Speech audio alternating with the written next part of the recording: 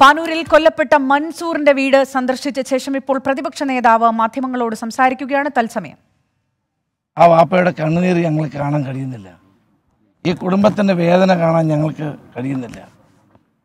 മൻസൂറിനെ കൊന്ന കൊലപാതകികളെ സംരക്ഷിക്കാൻ നടത്തുന്ന ശ്രമങ്ങൾ കൂടുതൽ വേദനിപ്പിക്കുകയാണ് ഞങ്ങളെല്ലാവരെയും.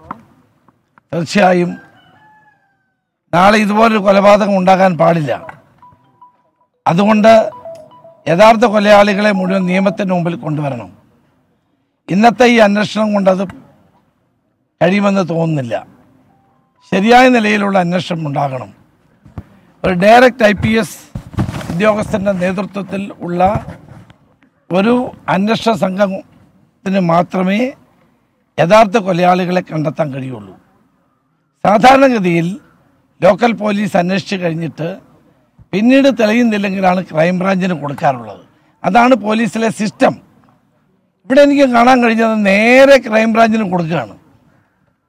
അതും പാർട്ടിയോട് ഏറ്റവും അടുത്ത ബന്ധമുള്ള ഒരു ക്രൈംബ്രാഞ്ച് ഉദ്യോഗസ്ഥന്റെ കയ്യിൽ ഈ കേസ് ഏൽപ്പിക്കുകയാണ്.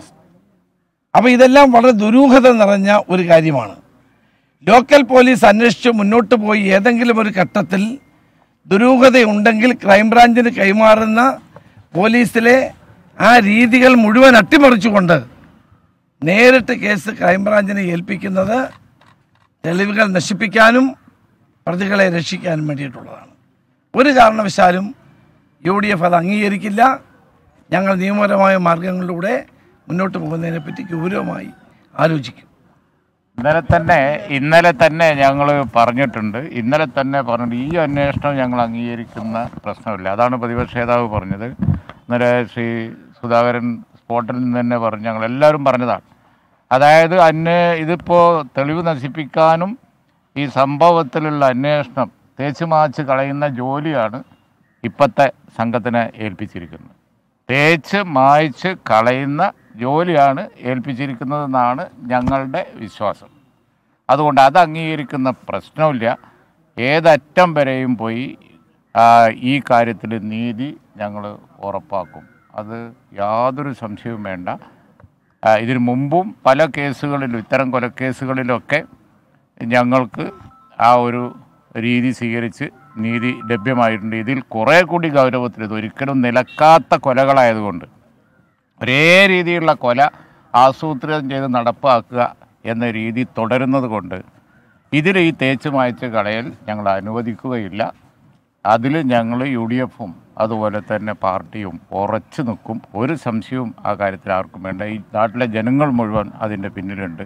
ഇതൊരു തരം അറുകൊല ക്രൂരകൃത്യം ഇത് തുടർന്നുകൊണ്ടിരിക്കുകയാണ്. ഇത് ഒരിക്കലും അനുവദിക്കുന്ന പ്രശ്നമില്ല ഭാവിയിൽ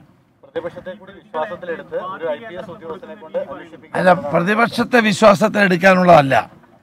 സാധാരണഗതിയിൽ പോലീസ് ചെയ്യുന്നത് ഭരണകൂടം ചെയ്യുന്നത് ഇരകളുടെ അഭിപ്രായം കൂടി കണക്കിലെടുത്താണ് ചെയ്യുന്നത്. ഈ കുടുംബത്തിനോ യു ഡി എഫിനോ ഈ കേസ് ഇത് അന്വേഷണത്തിൽ വിശ്വാസമില്ല. അപ്പോൾ ഇരകളുടെ അവരുടെ അഭിപ്രായം കണക്കിലെടുത്തുകൊണ്ടുള്ള നിഷ്പക്ഷവും നീതിപൂർവമായ ഒരു അന്വേഷണത്തിന് മുതിരുകയാണ് വേണ്ടത്. അതാണ് സാധാരണഗതിയിൽ ചെയ്യാറുള്ളത്.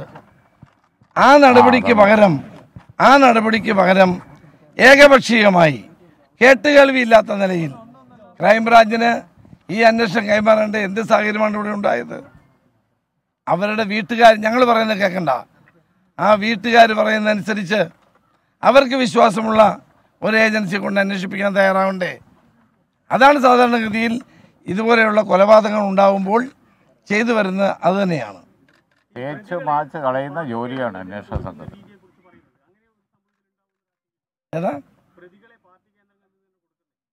നമ്മൾ വിജിലന്റ് ആയിരിക്കും. ആ വക കാര്യങ്ങളൊക്കെ കേരളം കുറേ കണ്ടതാണ്.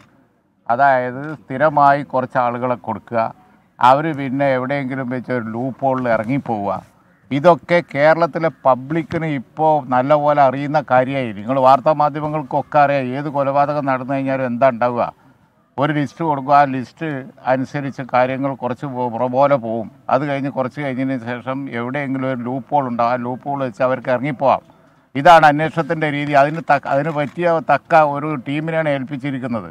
ഇന്നലെ തന്നെ ഇവരെ ജനപ്രതികളൊക്കെ അത് ചൂണ്ടിക്കാണിച്ചു. ആ ടീം തലവൻ പോലും അങ്ങനത്തെ ഒരാളാണ്. അപ്പോൾ അതുകൊണ്ട് തന്നെ ഈ അന്വേഷണം വെറുതെയാണ്. ഇതൊന്നും നടക്കൂല. അപ്പോൾ ഈ പബ്ലിക് ഔട്ട്ക്രൈന്റെ പേരിൽ വല്ലതും നടന്നെങ്കിലായി എന്നല്ലാതെ അതിന്റെ അപ്പുറം ഒന്നും ഉണ്ടാവാൻ പോകുന്നില്ല. അതുകൊണ്ട് നിയമപരമായ മാർഗം നോക്കുമെന്ന് പ്രതിപക്ഷ നേതാവ് പറഞ്ഞതാണ്. തങ്ങൾ വന്നിട്ടുണ്ട്. തങ്ങളും പറയുന്നുണ്ട്.